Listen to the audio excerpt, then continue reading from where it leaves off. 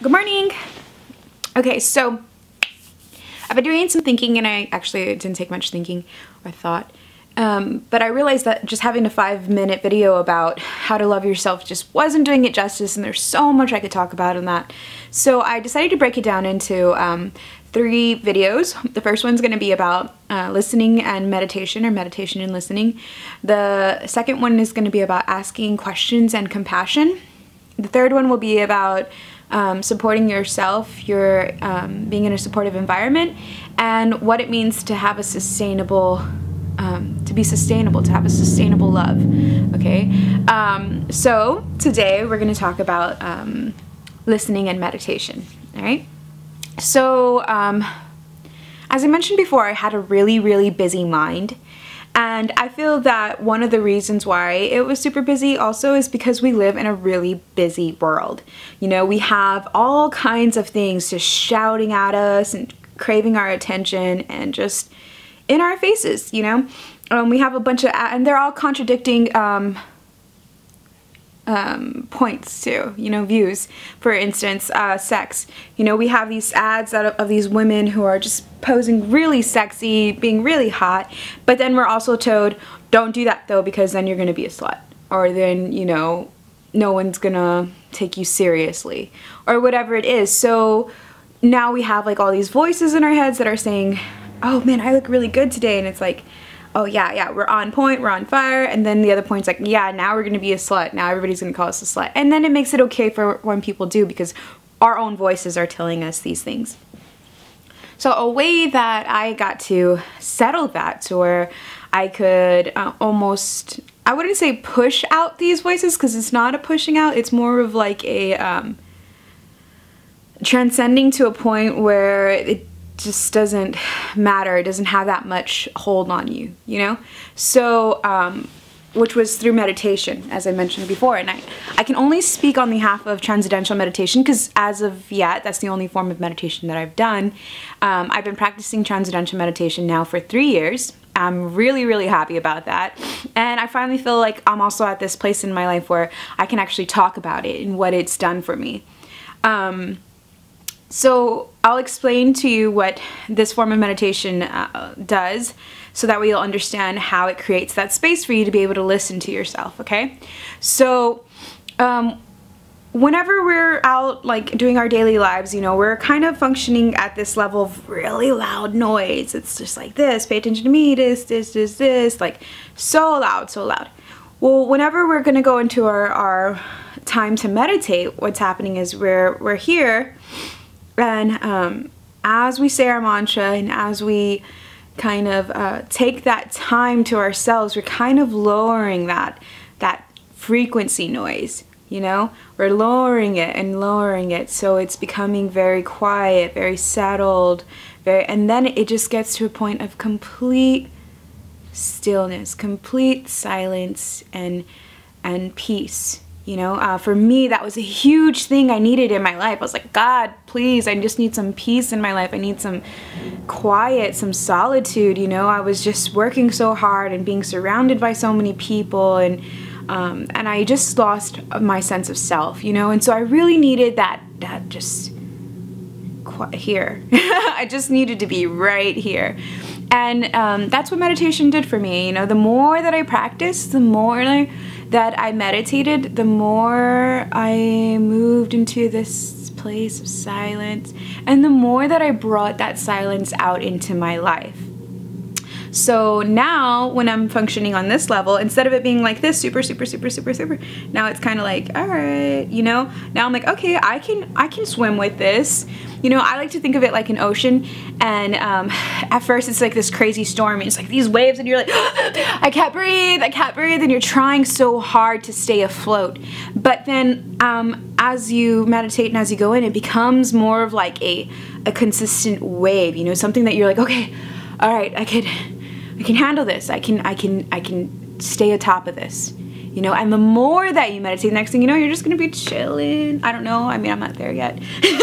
but you might be just chilling on that sideline, just watching it happen and not having to be um, in that, in that chaos at all, you know? I don't know we'll see. Time will tell. I'll let you know. but um so that's like the importance of, of what meditation did for me. And so as I mentioned, like as I started getting into these more stiller, silent, less chaotic uh, frequencies, I could start tuning in to my own frequency, right? I could start tuning in to my own thoughts and saying like, oh wait, whoa, what was that? Like, what did that thought just say? And is that thought true? You know i don't know.